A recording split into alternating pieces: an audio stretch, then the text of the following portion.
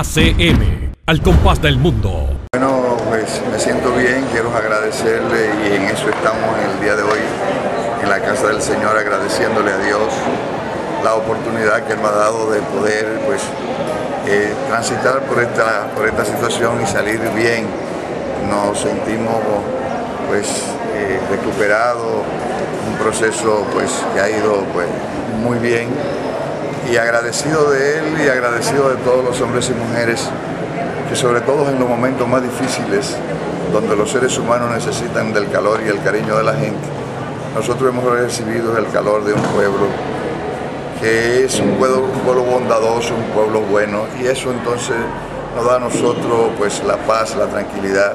primero de tener a Dios en nuestro corazón y de tener a toda nuestra gente de nuestro pueblo en nuestro corazón, seguir trabajando con ellos para lograr hacer posible que la gran mayoría de los mocanos, de los dominicanos,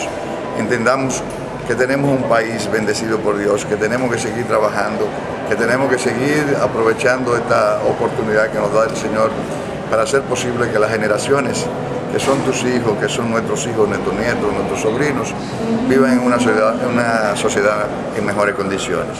La gente quiere saber. Bueno, a nosotros, nosotros se nos eh, rompió, tuvimos roto un anillo de la columna vertebral y eso provocó una hernia que eh, forzaba los músculos de la pierna derecha e impedía que nosotros pudiésemos eh, pues pararnos y caminar.